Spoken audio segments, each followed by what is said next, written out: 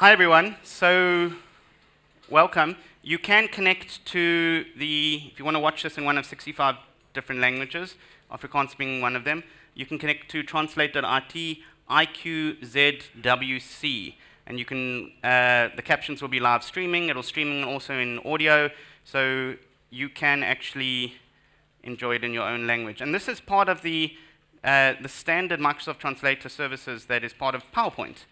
And if you've got Microsoft Teams, you'll notice that we've also recently incorporated there. So you can have a meeting in your own language now, which is, which is an important accessibility feature because captioning is not only for uh, visually impaired people, but it's also for people who their sight is failing.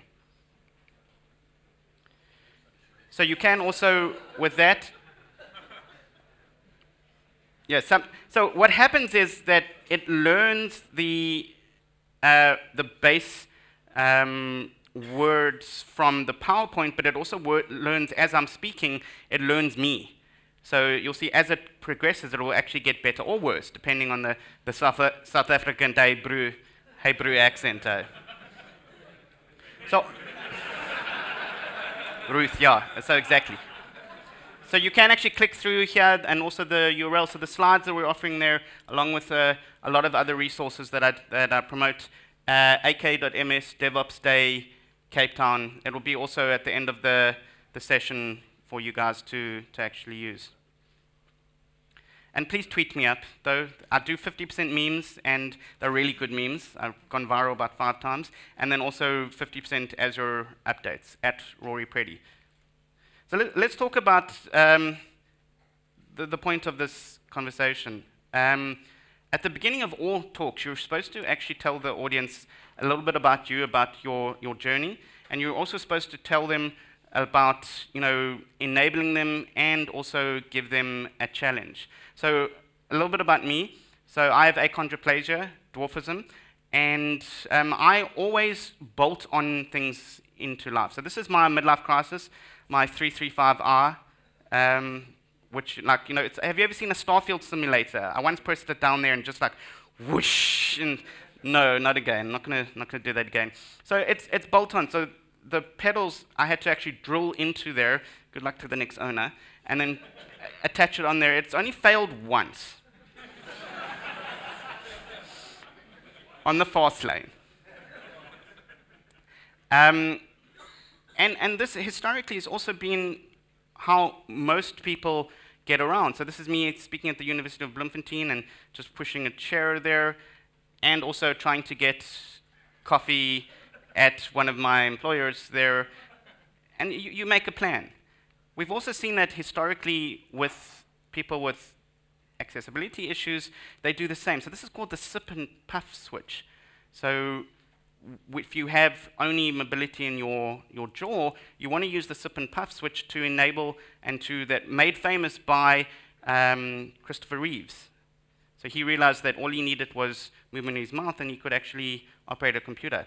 Similarly, if you have limited mobility in your arms, you can use the keyless keyboards. There's many of those. this one here, you can just rotate a little bit to, to get to what you need.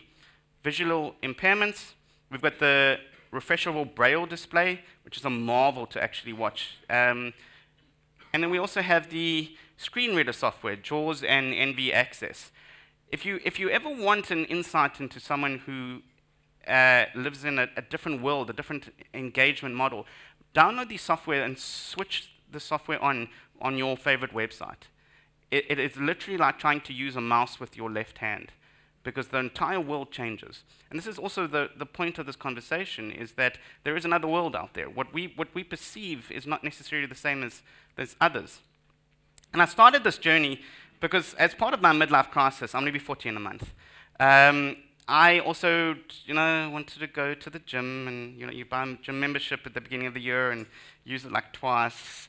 Um, so I bought one of these special smart scales, and you put the scale down, you get kalkhat, and you, you, you jump on the scale, and it, it measures your, your body mass, and it measures your fat content. And I was like, yeah, this, this, is, uh, this is not going to end well. Um, um, and so I put in my, my, my, my details. I put in four foot one, which is like to you Americans like 120 centimeters. I don't, I don't, I don't speak imperialism. Um, and I, put in my weight, and this is very interesting with the audience because when I mention my weight, a lot of people start to actually do the math in their head. They go, "Do I weigh more than him? Do I weigh less than him?" I'm 65 kilos, right? But uh, give, give, or take, you know, uh, there's been some beer, so so four foot one, 61 kilos. I get on there, and I, I, I, the next bit of criteria was interesting because it had it had a little crawling baby, and then it had a really big man. And I thought to myself, oh, this is really not going to end well. But I spent the money. Let's see what happens. So I'm not going to do the baby, I'm going to do the, the man thing. And, and, and I get on, and it's got a machine model built into it. So you can see the thing that says calculating, calculating, calculating, and then it, and it, and it came back, and it's like, you know, said the most heinous, heinous words to me. It called me morbidly, I'm not going to use the word, but it called me that, and I was like, somewhere, somewhere in a, in a design session, someone actually chose to use those words. Like, like, hey, what we, should we do? You know, for the really bad ones, let's like shock them. Hey, let's let's see what what what happens there. But it, was a little bit. It was a little bit like, oh, he's a little bit happier now, but. um, but I felt a little bit like sad Affleck because there's, there's, there's nothing I could do. This was a, this is a 4IR device, and it's the entire design process that excluded a, a, large portion of the population. Not all of us are that way built. So I gave myself a challenge, and I've been speaking across South Africa uh, and internationally, actually, uh, on this topic because it, it, occurred to me that I had to actually make a, a difference because it was going to leave me behind. So the 4IR revolution is supposed to create this avenue for people with uh, accessibility issues, but no one was speaking on it. No one was even mentioning it, though. And I, I work for a great company that actually makes it 20% of our KPIs linked to diversity. And so they gave me an opportunity to actually work on this. So what are we going to talk about today? So three simple points. We're going to look at inclusive design. that scale, how to make it better, how to, how to design for accessibility. We're going to look at website standards because website really is the, the entry point, and I think it was um, the creator of the web said that the, it's the entry point to most people's lives, web. And then we're going to look at how, with that, with website standards, how you can actually incorporate accessibility into your DevOps pipelines. Just launched last week. And I love having these little moments of, you know, that there is a, a, divine presence, that someone launches software that I'm speaking of the week before, and I quickly go, I'm going to do a demo on this, just need to speak to the engineers because nothing's really working. And finally, we're going to talk about AI, which is really machine learning and PowerPoint. Okay. Because we've got this push to AI, but what about if we never teach AI on how to be accessible, what is it going to build? We're going to have that same scale that no longer is aware that it's not really catering for the, the average. Sorry, it's catering for the spectrum, but it's catering for the average. So inclusive design. This is a very old concept. It's actually called user-centered design. In the 1920s, the US Air Force started designing cockpits and they said, Let, us take a survey. They took a survey of 4,000 pilots, and they said, cool, and we're going to design the cockpit for the average person, right in the center. In the 1940s and 50s, a lot of pilots started to die. They lost 300 pilots. And they went back into it in the 50s. They did an entire synopsis and said what's going on. People couldn't actually see over the, the cockpit. They said, no, that's not possible. We, we, we coded for the design, for the average. And they went back and they said, okay, cool, show me the persona that is on average. And out of those 4,000 person, when they, they put their, their line in the sand, that person didn't exist. So the, the cockpits were impossible to use. And user-centered design has actually flowed into our everyday life because that, those cockpits, the ability to move your chair up and down and everything, then came into cars. So user-centered design is actually based in your cars. And it's the design of products, services, and environments so that everyone, including people with disabilities, can fully experience them. Think of the cars. The minute that we made it a million possibilities with a car, we didn't code for the average. We didn't bolt down the seat and make it only available for, for one person. We made it available for everyone. Now, what happens then is once you do that, the process to get to innovation happens. Once you start to think outside the box, you have inclusive product and service design, accessibility compliance, productivity, you reach innovation. I'll show you how, though. Because you start to actually think outside and for a broader audience. It starts also with the definition of disability. So, have you ever been to a doctor and you say, you know, doctor, I don't feel too good, and he says to you, I'm terribly sorry, you have disability. Doesn't actually exist. It's like, actually, I went to the doctor and he said, sorry, you've got the 40s, you know, you're gonna, it's uncurable. because disability is not a personal health condition. It, it doesn't exist, just like that medium uh, in the cockpit, because it's a mismatched human interaction. And I, I learned this lesson uh, um, in, a, in a novel way, because I said to my, my son, who's also short like me, so I said to him, um, get on the scale, and I bought a new scale, and daddy's going through a midlife crisis, and let daddy grow his hair long and do a motorcycle, but no, not, not, I can't fit on a motorcycle. It's very frustrating. and I said to him, get on the scale, and I want to teach you, teach you a life lesson. And, and he got on the scale. So he's also coming to terms with his disability. So I said, when, when do you feel disabled? I said, the scale doesn't, he said, the scale doesn't understand me. It's, uh, but do you feel disabled when you're off the scale? No. It's only on the scale that you actually are aware of it because it's the disability is only the mismatched human interaction. It's only when you realize that you can't engage with something that you feel disabled. In, in my case, it's reaching for the coffee or the tequila often, and because you know we have small kids, so my wife puts it right at the top there. and I tell her they can climb better than me. This is you know, defeating the purpose. so then I say to my son, "Okay, please go get my tequila at the top there."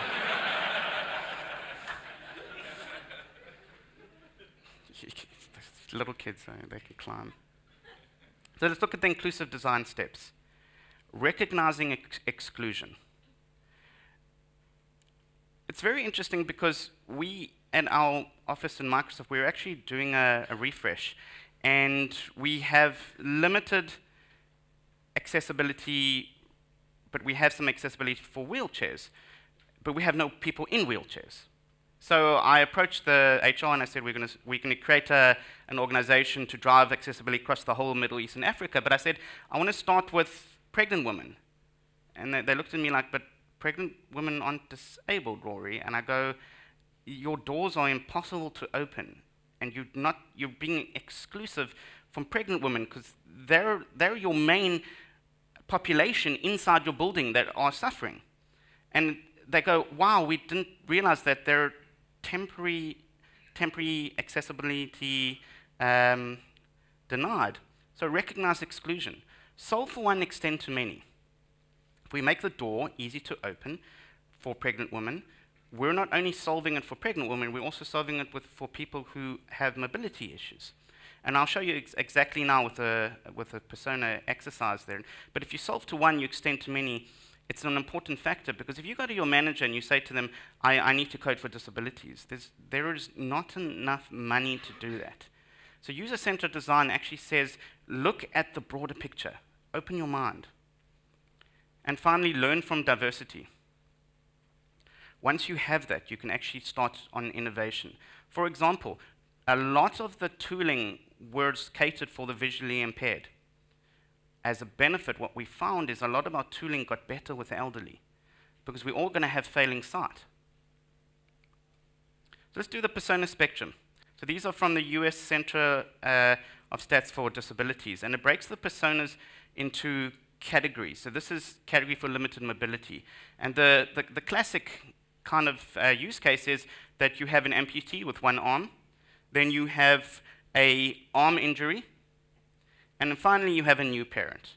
And any of you who have been new parents before know that it is a crippling disability, actually. Financially, emotionally. crippling. Um, and, and so you can, you can have a meeting and you can say, we want to cater for the one armed people, but there's only 26,000 of them in the United States. You can have a meeting and you can have uh, cater for the temporary, there's only 13 million of them in the United States. And then what about the situational? There's 8 million. So catering for the first one, you don't cater for the actual physical disability. You don't match it to the disability. You match it to actually to the persona spectrum. And then you have 21 million people. Statistically, one out of every, I think it's five people have an accessibility requirement. But it gets closer to actually one out of three when you look at color blindness, uh, temporary disability, um, ADHD, all of these other issues. Now, one out of three people have these requirements, but what about their family, their friends, their, their individual, their loved ones? We're all, if you, if you want to know the biggest advocacies for accessibility that are found, it's not the people with the accessibility requirements, it's their friends and families. So to cater for this, we, we, we've worked it out with half the world. So if you cater for accessibilities, you're actually designing for half the planet, for nearly 3 billion people. So how do you do this? So the first thing you start is with your persona spectrums, you map out your journeys. User experience, UX. The, in Cape Town, you, you, guys love UX. So. And you, you design, in this example here, a website. I think the colors are gone a little bit wrong there. So a website shopping cart experience, there's supposed to be a line there, site landing, preferences, registration, help, login, search products, add to cart, uh, accessible help, checkout, shipping, and experience. You take your personas there and you superimpose them in color there over your journey. And what you find out is that you, you're playing these, these matching games. So suddenly now when you land on your website, you need to be responsive. Most people with accessibility requirements without an arm, they can't operate it in portrait. They need it uh, landscape. So you start to think differently. Innovation starts to happen. A CAPTCHA not one of those terrible CAPTCHAs. I know what Google's trying to do with those CAPTCHAs, actually. They're trying to get me. I'm not a machine learner. Single sign on voice search, callback, one button access, and right at the end, and we're seeing this happen, is AI adjustment. To change the journey according to the person's individual accessibility requirements. And that's an important change because that is creating dynamic innovation based on the user's individual requirements. And we've seen that happen also with, I don't know if you guys are aware of TensorFlow.js, that you can have a deep learning model inside your browser, and it learns on the fly. I'll give you an example over there. And that you can actually scan the person's movements, their facial features, their hand signals, and change the entire experience around their individual requirements. Let's look at website accessibility as our demo. So to start off, what is the big push to create website accessibility? So there's always, there's always the stick and carrot. There's always the humanist, uh, altruistic outlook, and said best by Bill Gates. For most of human history, we put our innovative capacity into improving the quantity of life. Because we're living longer, our focus is starting to shift towards improving the quality of life. We've evolved. Uh, carrot. But we have stick. We've seen how stick worked with GDPR, with everything saying, uh, I'm going to use cookies now, but you used cookies before. What are, you, what are you doing now? You can use better cookies? Nicer cookies? Why are you telling them, get that pop out out of my face, please? So legislation. So the US Century Integrated Digital Experience Act, which actually says that publicly facing websites have to be, and mobile sites have to be accessible by 2020. The EU also, EU Parliament Directive on Digital Accessibility, also said that. The Canadians went a little bit crazy and they said publicly facing websites that aren't accessible now are going to be fined $100,000 a day. It's the same as GDPR. They'll shut your company down if you're not GDPR compliant. And it's the same with accessibility. By 2020, next year, th this storm is coming. Mobile and websites will be accessible. And you have to conform to WCAG 2.1, cannot triple A, but AA. So don't panic, okay? We're not going to take your, your jobs. But what is WCAG? So it's very old. It was actually released in 1999. You know, when I actually, actually was one of those people who put in the, the floppy disks into people's drives and said, you're Y2K compliant. Uh, what does that mean? I don't know. I'm just making money off you. You know, it's It's all good in the hood. You're not going to die in a fiery death. Gives 14 guidelines and, and 62 checklists for classic accessibility requirements. Released in 2.0, 2008, more principles, su success criteria. And then finally, they realized something. They realized that the majority of the world actually wasn't atypically uh, disabled. They started and they created the WCAG 2.1, which included mobility, low visibility, and learning disabilities, ADHD. So to cater for accessibility requirements, you're going to have to cater for ADHD, make your website accessible. There's also compliance levels. Level A deals with most basic website accessibility features. Level AA, which is most where what legislation actually mandates. And then finally, level AAA. Now, this is actually catering for disabilities and making it easier to use for the disabled population. It has four accessibility principles. Perceivable, can you use it? Operable, sorry, uh, perceivable, can you see it? Operable, can you use it? Understandable, can you understand it? And robust, it won't break future technologies. And let's look at some examples for all of those four categories. One, perceivable. So this is an apex predator, the house cat. But also in perceivable, you want to give it an alternative text because the screen reader can't actually pick up that that's a cat. And then you want to say it alt text, so that's perceivable. Perceivable also. So one out of 20 men are colorblind. One out of 200 women are colorblind. That's an accessibility requirement. So you shouldn't really use color to indicate alerts or errors. So this is one site that does, and another site, what if you were colorblind, what it would look at. Perceivable is also important with captioning. So this is my hero, Ron Swanson from Parks and Recreation. And if you know him, he's a very serious person, and he does not laugh. And when he does, it's the weirdest sound. But we, we're captioning right now. We're using AI to caption, and we've got all of these captioning tools that are available. And one of the requirements for WCAG 2.1 is to caption your videos. It's a simple request, caption your videos. And there's a lot of tools around that. We actually have um, a very nifty tool that I caption, you'll see a video myself from, and you can change the captions we, we're seeing a big drive there to cater for your nuances in your accents. Because I couldn't understand with, with the captioning when, when I captioned myself, brew, why it couldn't actually come through. Because the nuances are also for accessibility coming down for accessibility tooling. We're doing uh, reinforcement learning in captioning. Hyperlinks, so let's do usable. So this is an example of a really, really bad hyperlink. But how many times have you put a hyperlink as the actual alternative text as click here? What do you think a screen reader is going to say when it actually goes over that?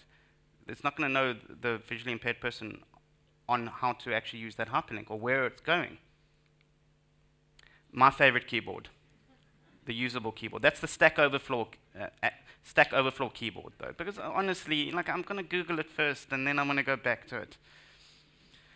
So, but try going to your website, try going to your app, disconnect the mouse, just actually navigate through with your keyboard. What's important to understand is that if you're not able to do that, you should just stick to the standards of keyboard navigation, and I'll show you how with tab indexes. So let's do a little bit of an HTML demo. So I've got a very clean, semantically correct site there. It's got the, the heading, the p tags, and then I've got a list, semantically correct for a, for a list. But I can also do the exact same HTML in incorrect semantics. To me, viewing that would be the exact same. To someone who's using accessibility tooling, it would be unnavigable now.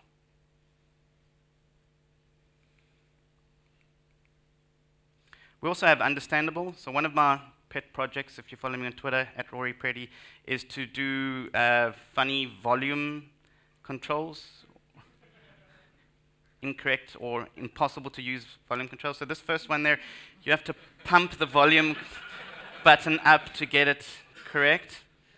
The second one, you have to shout the level of loudness into your control to get it there.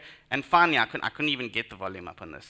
You have to be able to have gear ratios, stick for our American friends, and get the correct gear ratio to get it perfectly there. But the, the important thing to understand is that we're now seeing a push to cater for accessibility requirements for ADHD. And we've created a service, a cloud-based service called Immersive Reader, which is actually available in Office there. And Immersive Reader shuts everything down except the line you're reading, puts it in a nice dark mode, and then also gives you uh, grayscale across that. Because for a lot of people, the normal web is, a uh, web is a frightening place. It's an overwhelming place, especially for, for children starting to read. And then it can break it up into syllables, and also it gives you a picture so you can mouse over the word and it'll give you the actual picture that. We're finding that works great in schools, but also for people who have cognitive disabilities. Robust, scalable. That's another apex predator there. The wiener dog. I've only been bitten by two dogs, and that's one of them. I, I, think that dogs don't understand me because they look at me and go, Am I supposed to eat it? Am I supposed to kill it? What am I supposed to do with it?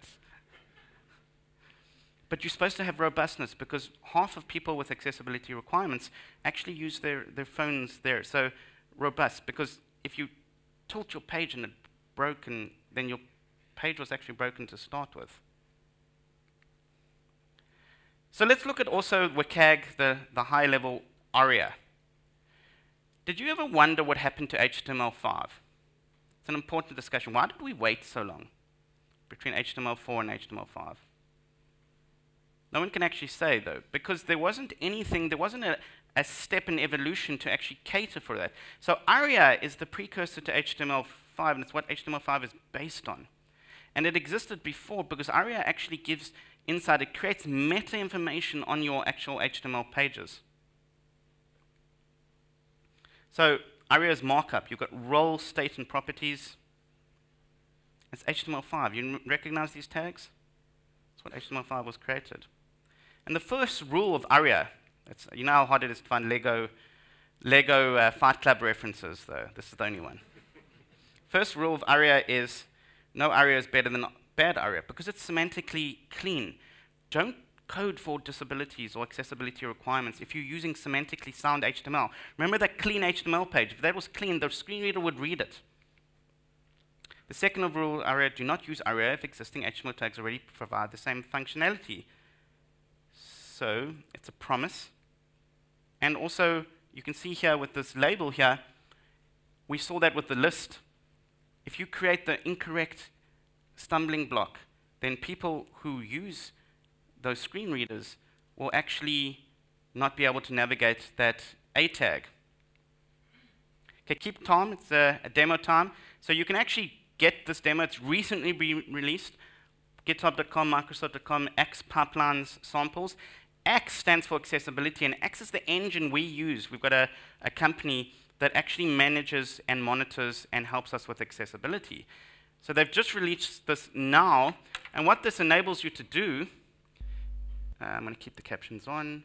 Visual Studio Code, best editor ever. We're just going to run that here in default browser. So what axe allows you to do, and this is accessibility insights for web. So this is a basic page. Let me actually zoom in here. Uh, let's do the zoom. How do I do this in Edge? I know how to do this in Chrome. Okay, that didn't even help me at all.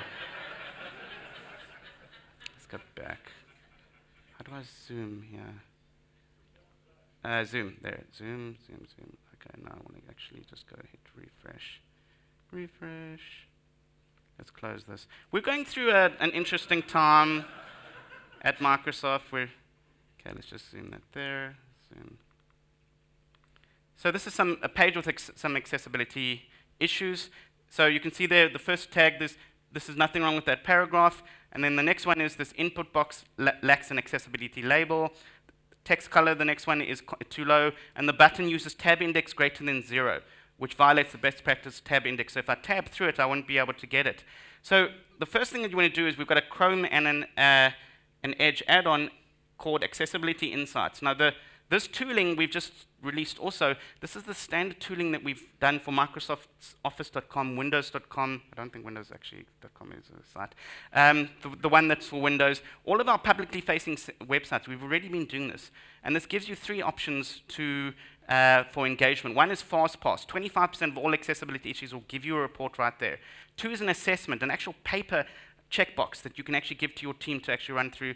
And then there's some ad hoc toolings to switch off colors, to go through tab index, to do a lot of nice tooling. So we're going to run FastPass right now on that static page, and this is offline also. So it gives me, hey, the color contrast is bad, the label is wrong, but it also highlights there. You can screenshot it and send it through to your, your team. You can also click on here and you can file an issue into your, your issue tracker there. So you can link it through to your testing. So this is the manual testing, and it's identified those two issues there. But what about DevOps? So in my project here, I've got the sample web page, and I'm going to attempt a, a very brave live coding demo run by macros, because I've been in the industry way too long. And this over here, we're going to create a pipeline. And then we're going to plug this pipeline into Azure DevOps. So we've seen that page there, and I want to start off with a basic accessibility test. So I run my first macro, and in this code here, in C Sharp, I'm importing fluent assertions, the axe libraries. I have my actual page, and I use start browser to start my Chrome browser, stop browser, and then load the test page. So I've got my basics of my test fixtures done. I then say, hey, wait a second, I want to run the, the start of the, the tests. So I test the accessibility uh, ins, uh, insights of a single element.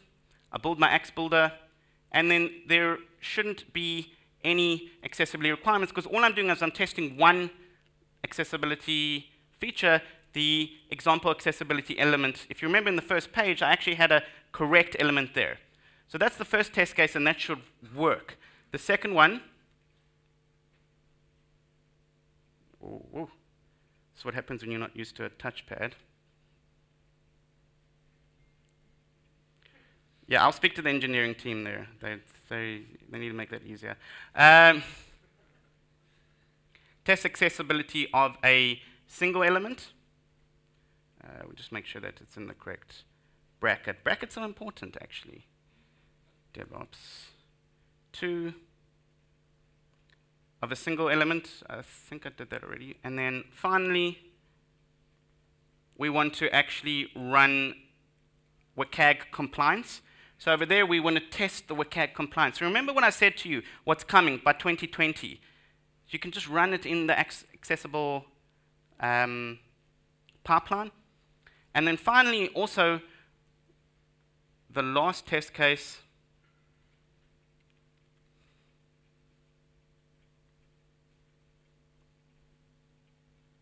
you want to disable certain rules. Because what's important to understand is that no one wants to shame the page into not working or not being accessible. So that's an important concept. So you can tweak it to get it to work. So once you have that on the actual site, it's linked into the, uh, where are we here, axe pipelines. And the axe pipelines here will start up Chrome. It'll run your actual steps. And also on Azure DevOps, it will run .NET Core. So you can actually go through to that on your axe pipelines. Uh, let's go there, axe pipelines example. And you'll see here, it actually links it through to your, okay, we did the C-sharp driver sample.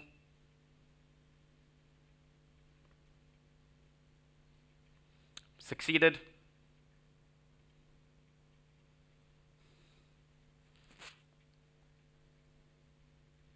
And you can see there it ran it with Chrome and Firefox, prepare job, checkout, install, .NET Core, restore, test.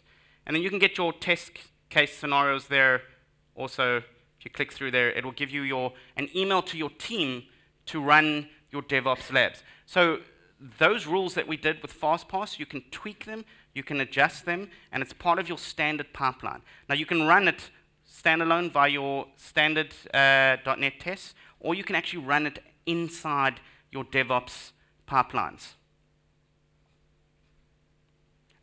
AI for accessibility. We have a fund, $75 million, that if you have a good idea for AI accessibility, you can apply it to the fund, and we can actually uh, cater for your AI project. This is very important to us because we, we understand that AI and accessibility go hand in hand. So I've been using, kind of abusing AI in accessibility for a while. So one of my pet projects was to actually show that I'm not related to Peter Dinklage. and you can see there that the AI says that the confidence level is high, that these people are two different people. I also once tried to create a pass the butter robot, a Rick and Morty pass the butter robot with Alexa. And the, the interesting thing is that in the demo, I kept on screaming at it because Alexa couldn't understand not being frustrated because Alexa doesn't and didn't have emotions at the time. But we're seeing a move to creating emotionally aware AI because emotionally aware AI will cater better for accessibility. What we want to do is cater for a world that, uh, that actually matches everyone's requirements, like these stairs. If you have accessibility requirements, you can go through the pathway, else you can climb the stairs. But what we also want to do is a world that adapts to you, and we need AI for that journey. We definitely don't want to do this, though. we may have created one or two robots which we're not really um, proud of, though, so we're, we're taking a step back part of the journey with AI is to understand sentiment and analysis. So sentiment analysis is to say that the person's happy or sad. But we also acknowledge that sentiment analysis is not a binary 0-1. So this is the emotional spectrum. And this is important because it understands that if you want to train an AI to understand accessibility, you also need to understand the human-based emotions. So my fascination with this is that the purple, boredom, disgust, and loathing. So boredom comes before disgust comes to loathing. Have you ever wondered why children can't, don't want to be bored? They get physically sick. Scientists have worked out that boredom is an evolutionary trait to try and show you that you've, you're actually been poisoned. You should go out and you should find better food or do something else. So if you sit still and you feel bored, it's because evolution has done that. But so that's, that's how complex the emotional spectrum is. So how do we code, code that into AI? So we didn't. So we got uh, Deepmoji, MIT. They realized this was an impossible task. They went and they trained it on you. They scanned in 55 billion tweets, your tweets. And they realized you were actually helping us understand the human mind and accessibility in emotions because you were hashtagging with an emoji at every one of your tweets. You were linking through and helping us learn with your sentiment and your emotions. So we scanned it into 50, uh, 55 billion tweets, and then we sanitized it into 1.6 billion, broke it down into categories, but I'm important in these categories here, and that little face there that little emoji here. Who can tell me what that emoji is? It's the I'm not impressed, aka it's used predominantly for sarcasm, which is the hardest actual uh, wit to understand. So if you go into deepmoji.mit.edu, you can actually check that it understands sarcasm. So coming from Joburg, which we have questionable electricity, so I wrote there, well, you guys, I think also, uh, electricity is off again, oh joy. And it picked up I was being sarcastic. It wasn't being positive because right at the end it shows there I'm not, not impressed. So we have the ability, we have the ability to actually code AI to be emotionally intelligent. And this is important because a lot of the digital accessible uh, gadgets we have needs to be accessible. Siri, Alexis, Cortana. All of these things, if you scream at it, and if you, you're having a frustrating time and you're not managing and you're, uh, you're battling, shouldn't the AI itself be aware of your, your difficulties? So we have an entire team that creates emotions for AI because accessibility and AI is important to us. Also, remember what I said on the browser? They created a smart assistant with sign language for Alexa. So over here, this individual coded using TensorFlow.js the, his personalized engagement with uh, Alexa. So it could scan his hand signals and it will talk to Alexa for him because he's uh, not able to speak. So let's look at how you can start this accessibility journey and learn from diversity. So we've already defined uh, how to define your spectrums, but you also need to define with AI bias. And bias is very important because if you code something on one population, you're going to create a bias AI. And I did a, a, a session at DevCon and I created a toxic AI, something that, you know, I only fed toxic Wikipedia statements, and it came out as toxic. Enlist customers to correct bias. You're tweeting right now, you're hashtagging, you're feeding and you're learning. The MIT.edu um, app there, Deepmoji, is learning every day. Cultivate diversity with privacy and concern, very important. Balance intelligence and discovery. And finally, build inclusive AI teams. You will never meet a bigger advocate for accessibility than the person who is physically affected by that. And it's an important concept. You need to hire for di diversity. Once you do that, so we've done that, we create this entire div diversity team. We run diversity hackathons every year. So the first hackathon we created was Seeing AI. Well, the winner was seeingai.com. So this is an app on our phone, I think on Android, um, that actually, if I were to position it over this room, would tell me how many people in this room. It would tell me if they're happy.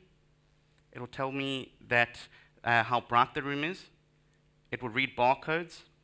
And it's an important um, tool that we have given to people who are visually impaired. We also created this. Sean. My name is Ian. I'm Taylor. My name is Owen, and I am nine and a half years old. I only have one. and yeah.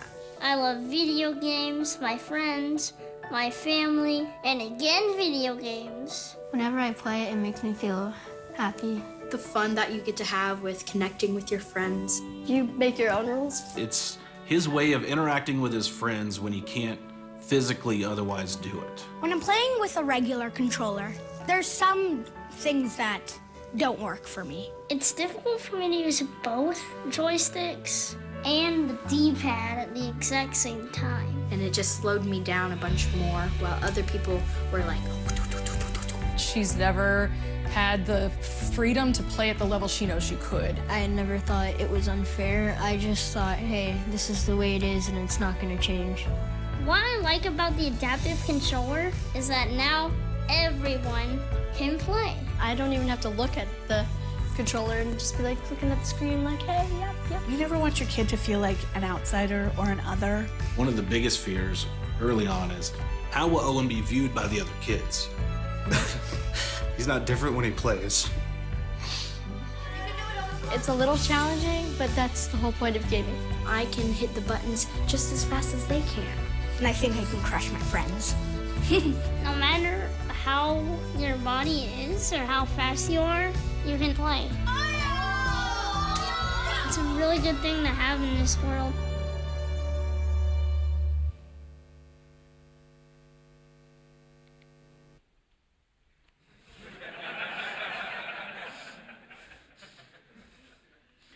And he's happy for multiple reasons, actually. So, what have we covered today? One, inclusive design. Code for spectrums. Don't code for individual disabilities. Two, website standards. We've seen how to actually incorporate it in um, your pipelines, your DevOps.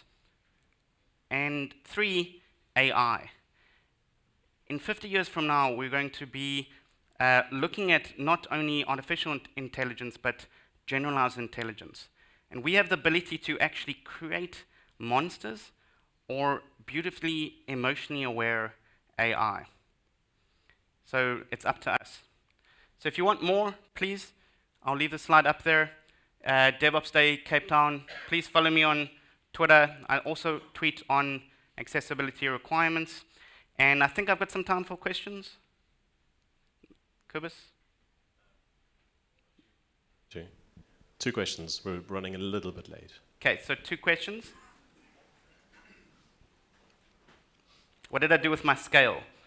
Nothing, actually. I'm just kind of like, I'm just going to ignore the fact that I need to go to gym. I actually have a gym in my building, like you know, and I'm just ignoring. Every time I drive past, I just go, uh, "You're not there." Thank you so much. Powerful stuff. I'm wondering what now that people are inspired and want to make these choices, what's the one of the ways you would recommend people start with making their sites and apps more inclusive? So I, get a lot of engagement after these fact, and people coming and saying, "Rory, I did nothing. I did nothing for 20 years of my life, and I don't know what to do because I've created all these inaccessible websites and pages." And I, I said to you, "But how do you know that? You need to start just by running FastPass with the uh, Accessibility Insights tooling. So you can go to accessibilityinsights.io, and you just run FastPass, and then you can just see where you need to go. This is a journey. Until they come with the big stick, and they, they're coming with that, this is a journey that you need to be aware of. Where do you start, and where do you need to go? One more question. No, okay. Um, so I, I just have a comment that um, the first time I heard the talk, I realized that the stuff's actually easy and there's no excuses. Um, so like it, it's a challenge to start doing the right thing and it, it'll all work out. Um, and then in addition, you can go further and, and go over and above that. And I think, I think all those, those barriers to be accessible are, are being broken down and it really is easy. There's no excuse. Cool. Thank you, Rory. Thank you, everyone.